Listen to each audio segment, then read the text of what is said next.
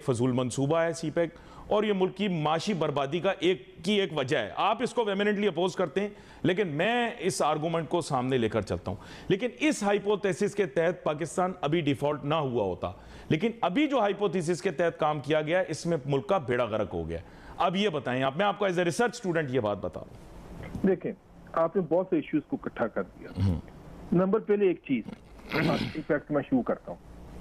सी pack एक investment है। हम्म। जिसमें हाथ से काम करना पड़ता है।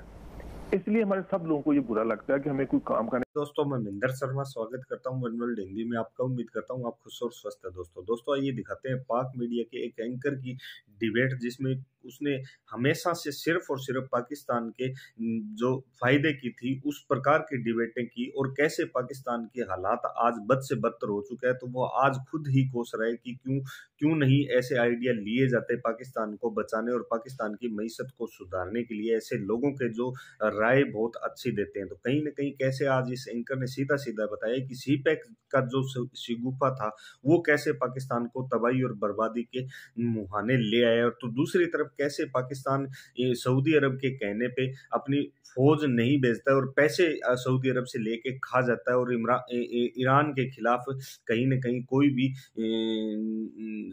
कोई भी इसमें टारगेट में सऊदी अरब का साथ नहीं देता है। तो कैसे आज मुस्लिम उम्मा की ये जो नाराज़गी है पाकिस्तान को सहन करनी पड़ रही है, क्योंकि आज पूरा पाकिस्तान दाने दाने को मोहताज वैसे ही हो चुका है। तो दोस्तों, देखिए डिबेट और कमेंट में अपनी प्रतिक्रिया ज़रूर दें। लास्ट में आपसे रिक्वेस्ट करूँगा चैनल पर नहीं है तो चैनल को सबसे पहले सब्सक्राइब करें। जय हिंद, वंदे मातरम, भारत माता की जय दोस्तों। ने कर ली दोस्ती, अब जब हम मांगने गए दोबारा पैसे तो उन्होंने कहा, अब हमें तुम्हारी क्या ज़रूरत है? हमने अपने मामला तय कर लिए। अब जून तक 16 अरब डॉलर कहाँ से लेकर आएँगे? यहाँ खाने के वादे हैं और आईएमएफ ने इतनी बड़ी डिमांड रख दी। यहाँ खाने के वादे हैं। यहाँ हालात कहाँ से कहाँ पहुँच गए हैं? ये मैं डरा नहीं रहा आपको। किसी दिन भी पेट्रोल खत्म हो गया तो क्या करोगे? नोटू है? है ही नहीं।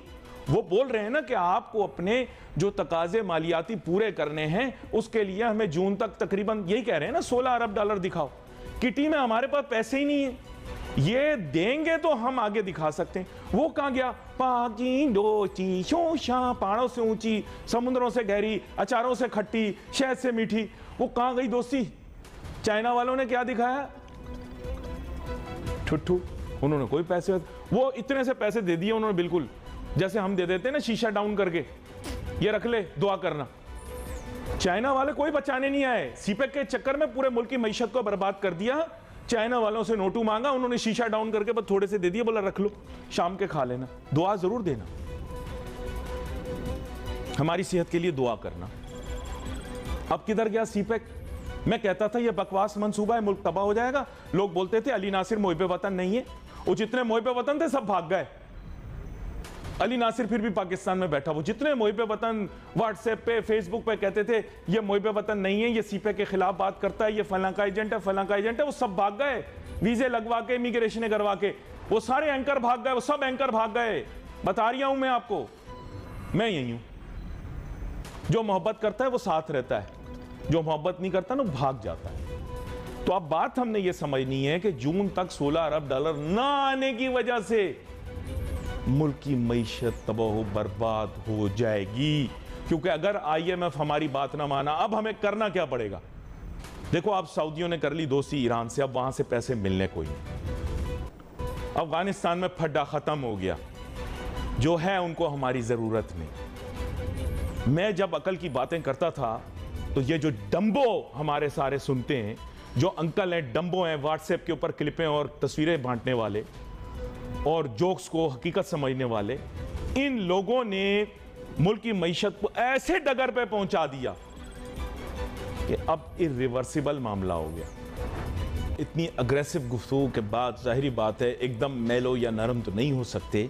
बात यह है कि इस मामले को अब इंटरनेशनल पॉलिटिकल इकोनॉमिक्स के जुमरे में रख कर देखना पड़ेगा। शकील रामे साहब हमें ज्वाइन कर रहे हैं मुल्क के मारूफ मीशतदान हैं इनके साथ बड़ी अच्छी गुफ्तु रहती है बड़ी ऐसा गुफ्तु करते हैं। वेलकम करता हूँ आपको शोभ। थैंक यू शकील रामे साहब कुछ मसला इस नोयत का है कि हम हालात मामला और चीज़ों की पेचीदगी को समझ नहीं पाते। हुआ ये कि हकीकी पाक सर ज़मीन तो मक्का मदीना की ज़मीन है लिवांट है वहाँ पर हमें मौका मिला आज से कोई तकरीबन छः साल पहले कि हम अपनी फ़िज़िकल प्रेजेंस जो है वो शो करें बूट्स ऑन ग्राउंड वहाँ लेकर जाएँ। और इसके एवज में हमें बहुत सारे पैसे मिलेंगे। पेशगी हमें डेढ़ अरब डॉलर तोहफे के तौर पर दे दिए गए कि भाई ये पेशगी रख लो, आगे और भी मिलेंगे। हमने बहुत बड़ा धोखा दिया, उम्मा को धोखा दिया, और हमने इसलिए धोखा दिया क्योंकि हमें लगा कि हम एक मसलकी या सेक्टेरियन क्राइसिस का हिस्सा नहीं बनना चाहते। और अगर हमने वहाँ, हम वहाँ गए तो हम फिर एक तरह से जिस तरह माजी में दूसरों की जंग में शामिल हुए, अब इस जंग में शामिल हो जाएँगे। हमने कुछ खौफ के मद्देनज़र कुछ अपनी महदूद अकल के, अकल को सामने रखते हुए, महदूद मुशाहदे को सामने रखते हुए ये फैसला किया। आज सऊदी अरब और ईरान की दोस्ती हो गई। हमारा जो लेवरेज पॉइंट था, वो अब ख़त्म हो गया। अब हमने सऊदिया को कहा, हमें पैसे दो। उन्होंने कहा, क्यों? हमने कहा, वो हम उम्मा उम्मा कर प्यारे। तो उन्होंने कहा, उम्मा के नाम पर तो हमने भी तुम्हें बुलाया था। तुम तो हमें डीच कर आ गए। अब किस बात के पैसे चाहिए? तो हम आँखें फटी की फटी रह गई। फिर हमने यूएई की तरफ़ देखा। उन्होंने भी इसी तरह का इशारा हमें दिया। कि भाई आप पहले अपने मामला तय कर लो, फिर पैसों के बारे में बात करेंगे। अब फ्री हैंड हैंडआउट्स नहीं मिलेंगे। तो अब हम फंस गए। बराबर में हमारे अफ़गानिस्तान है। हमने कहा हम डीप इन्वॉल्वमेंट नहीं चाहते अफ़गानिस्तान में। वेस्ट ने भी हमें ठुट्ठू दिखा दिया, उन्होंने भगा दिया और उन्होंने इशारतन ट्विटर के ज़रिए हमें पैगाम पहुँचा दिया, पहले इलेक्शन कराओ, फिर बाद में देखेंगे। तो सर, जून तक 16 अरब डॉलर कोई जादुई छड़ी से आएँगे, यह मुझे बताते हैं देखें आपने बड़ी खूबसूरत तस्वीर जो कि, कि मंजर कशी की है चीज़ों की। इसमें जो मैं एक चीज़ का इजाफा करना चाहता हूँ अली नाज साहब एक चीज़ बंदे को हमेशा याद रखनी चाहिए। मुफ़्त के पैसे से कोई मुल्क तरक्की नहीं करता ना भीख से कोई मुल्क आज तक तरक्की किया किसी मुल्क हमें अगर तरक्की करनी है तो हमें अपने आप अपने पाँव पे खड़ा होना और चलना सीखना होगा। हमने पास्ट में यही किया हमने अपने देखे ना अगर आपने इकोनॉमी खड़ी करनी है तो आपको अपने प्रोडक्टिव सोर्सेज को बढ़ाना पड़ता है ना? तो हमने तो उनको अंडरमाइन किया। बल्कि अभी भी आप देखें तो हम उनको अंडरमाइन ही कर रहे हैं। हम हर जगह कहते फिरते हैं हमारी स्ट्रेंथ है एग्रीकल्चर और एग्रीकल्चर होने के अलावा हम क्या कर रहे हैं कि 10 बिलियन की हम फ़ूड और एग्रीकल्चर रिलेटेड फ़ूड कर रहे हैं। हम कहते हैं जी, हम इंडस्ट्रियल इंडस्ट्रियलाइजेशन करेंगे। हम जो कि सिक्सटीज में एक टाइगर बनने जा रहे थे, हम दोबारा बनेंगे। हमारी पॉलिसीज़ क्या है? कुछ और है। हमारी जो पॉलिसी नज़र आती है इस वक्त वो ये है कि सिर्फ़ हाउसिंग सोसाइटियाँ बनाओ हाउसिंग सोसाइटियाँ बेचो। जो प्रोडक्टिव लैंड बची है, उसको भी किल करो फैक्ट्री के बिज़नेस को भी किल करो, सबको किल करो, सिर्फ़ और सिर्फ़ जो है कि हाउसिंग सोसाइटियाँ बनाओ, या बड़े बड़े माल बनाओ प्लाजे बनाओ। मुझे ये कुछ समझा दे कि अब इनका फ़ायदा क्या होगा? जब तक आपकी कोई कानून ना तो आप इसको एक्सपोर्ट कर सकते हैं, ना कुछ और कर सकते हैं। जो जो बड़ा बिजनेसमैन चाहे वो प्रॉपर्टी का या कोई भी है, जब उसके पास चार पैसा आता है तो वो पहला काम ये करता है कि फॉरन अकाउंट से पैसा वहाँ ले जाता है। यानी कि आपकी इकोनॉमी फिर बैरन की बैरन रह जाती है। तो अब इस सिचुएशन में आप देखे ना हर बंदा देखे ना आपके पास सगा भाई भी आ रहा हो ना रास्ता साहब। हर महीने दो महीने बाद मुझे पैसे दे दो मुझे पैसे दे दो। आप, आप भी तंग आ जाओ क्या यार तुमने तमाशा लगाया हुआ है? हर दूसरे मुझसे पैसे मांगने आ जाते हो। भी दूसरे को बड़ा बुरा भला कहने से पहले हमें अपने गिरेबान में देखना पड़ेगा कि हमने क्या किया। एक तरफ़ तो हम पैसे मांगते फिर रहे हैं दूसरी तरफ़ आप हमारी गवर्नमेंट के लल्ले तलल्ले देख लें। जिसकी भी गवर्नमेंट हो ये नहीं कि जैसे नवाब शबाज शरीफ की इससे पहले वाले देख लें उससे पहले वाले देख लें इनको लल्ले तलल्ले देखें कैसे कैसे इनको सहूलतें मिली हुई है। आप इधर आए ना एफ़ सिक्स में आपको नज़र आएगा कितने फैक्ट्रियों के यहाँ पर घर हैं कि जो गवर्नमेंट ने उनको बना के दिए हैं करोड़ों की प्रॉपर्टीज़ में सिर्फ़ एक फैक्ट्री को रहने के लिए। एक तरफ़ कहते हैं हमारे पास पैसे नहीं दूसरे हमने शहाना जिंदगियाँ दी हुई हैं। तो बात पैसे देने वाला भी सोचता है हाँ। लेकिन ना आप मार्केट नहीं लेकिन मैं आपके सामने बतौर आप क्योंकि एक मुहक्किक भी हैं तो एक मुहक्किक होने के नाते आपके सामने एक रिसर्च क्वेश्चन रखता हूँ।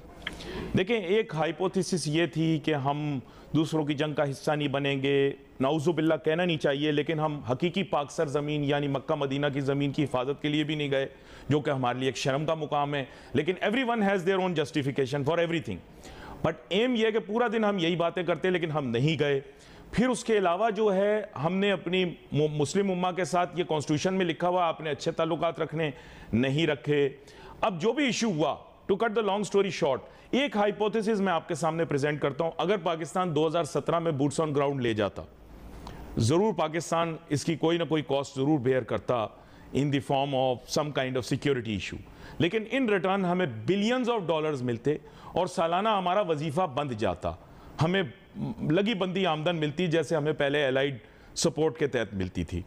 इसके अलावा वेस्ट कभी हमें कोलैप्स ना होने देता इकोनॉमिकली क्योंकि उनको पता होता कि हम मिडल ईस्ट की सिक्योरिटी को जो है प्रोटेक्ट कर रहे हैं और आपको पता है उनके क्या इंटरेस्ट हैं इस रीजन के अंदर। इसके अलावा आप सीपेक आपको रोकना पड़ता जो कि मैं आज भी आपके साथ कंटेंट करता हूँ कि ये एक फजूल मंसूबा है सीपेक और ये मुल्क की माशी बर्बादी का एक की एक वजह है। आप इसको वेमिनेंटली अपोज करते हैं लेकिन मैं इस आर्गूमेंट को सामने लेकर चलता हूँ।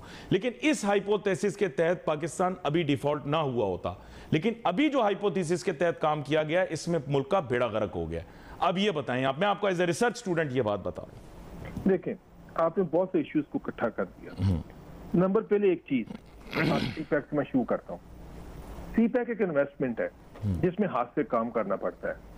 इसलिए हमारे सब लोगों को ये बुरा लगता है कि हमें कोई काम करने को ना कहें।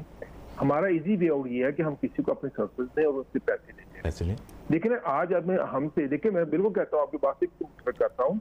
हमारी पॉलिसी इंडिपेंडेंट होनी चाहिए। ये नहीं होना चाहिए कि हम ये एक्शन ले रहे हैं जब उनसे हमारी बात चल रही थी सऊदी अरेबिया से तो हम कह सकते थे जनाब ठीक है हम आपके साथ हैं हम आपकी टेरिटरी के लिए बच करेंगे हम वोट भेज रहे हैं। मगर यमन में नहीं जाते ना जाए भी वहाँ नहीं हम जाएँगे हम इधर आपके साथ पूरे खड़े हुए हैं। हम खड़े भी हुए उनके साथ ये नहीं कि हम नहीं खड़े हुए।